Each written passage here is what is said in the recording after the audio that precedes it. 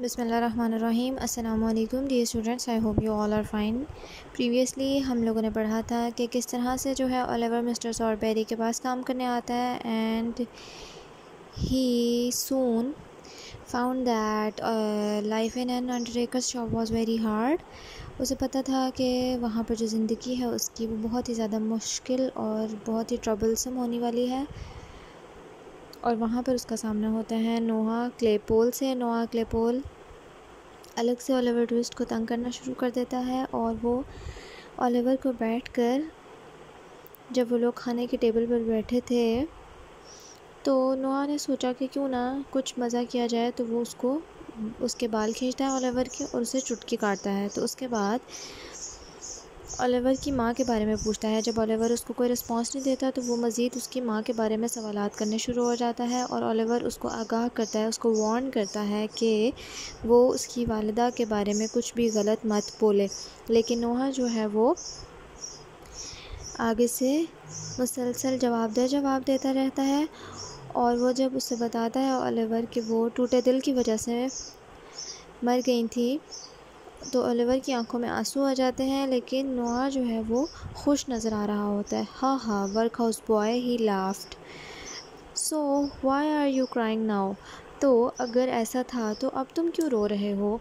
Don't you say anything more to me about my mother Oliver said अब Oliver ने कहा कि तुम मुझे कोई भी और चीज़ मेरी वालदा के बारे में मत कहना। Moving to page number twelve your mother cried Noah अब नोआह ने क्या कहा कि तुम्हारी माँ she was a bad one वो बहुत ही बुरी औरत थी वर्क हाउस बॉय कारखाने के लड़के, तुम्हारी माँ जो है वो एक बुरी औरत थी. शी वॉज़ वो वाकई थी. It's a good thing that she died ये तो अच्छी बात है कि वो मर गई. हाँ हाँ. और वो फिर हंसने लगा. This made Oliver very angry अब ओलिवर ने क्या किया? इस चीज़ ने उसको इतना गुस्सा चढ़ा दिया था। ओलिवर को बहुत ही ज़्यादा तकलीफ़ हुई, दुख हुआ और उस चीज़ ने उसके अंदर बहुत ही ज़्यादा गुस्सा और एंग्रीनेस पैदा कर दी। वो यहाँ पर मज़लूम नहीं बन सकता था। उसको कुछ करना था, वो अपनी माँ के बारे में एक लफ्ज़ भी मज़ीद नहीं सुनना चाहता था। हिज फेस बिकेम रेड उसका चेहरा सुर्ख होने लगा। ही कॉट नोआ बाय नेक उसने क्या किया कि नोआ को गर्दन से पकड़ लिया। ओलिवर ने एकदम झपट कर उसकी गर्दन पकड़ ली। ही शुक हिम हार्ड और फिर उसने अच्छी तरह उसको झटके दिए। गर्दन से पकड़कर शोक शेक की पास फॉर्म है शोक और उसका मतलब है झटके देना। उसने गर्दन से पकड़कर नोआ को झटके दिए देन और फिर threw them to the ground उसको ग्राउंड पर फेंक दिया, ज़मीन पर, फर्श पर फेंक दिया। Noah began to shake with fear अब नोआ, जो कि इतना ज़्यादा बातें कर रहा था और इतना बड़ा बन रहा था और जिसने सोचा तक नहीं बात करने से पहले, अब वो कांपने लग गया, डर से, खौफ से, और चिल्लाने लगा, help help cried the coward coward यानी कि कायर, जो लड़ने से डर रहा था, जो इतनी बड़ी बातें कर रहा था ओलिवर पे इतना रौब जमा रहा था, लेकिन एकदम से जो है वो डर गया, खौफजदा हो गया और चिल्लाने लगा मदद के लिए।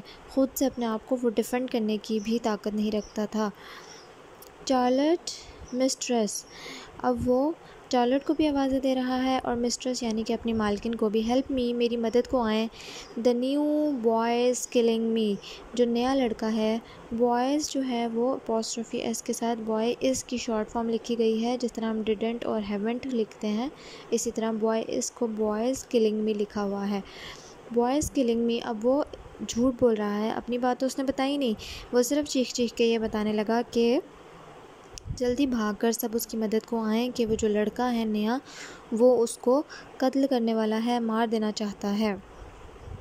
Oliver decides to run away.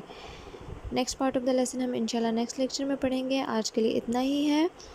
Take care of yourselves आप लोग अपना काम साथ साथ कंप्लीट किया करें ताकि नोटबुक चेकिंग के वक्त आपको किसी किस्म का प्रॉब्लम ना हो। री रीड योर लेसन लेसन को अच्छी तरह पढ़ें। सारी ट्रांसलेशन अच्छी तरह री रीड करें।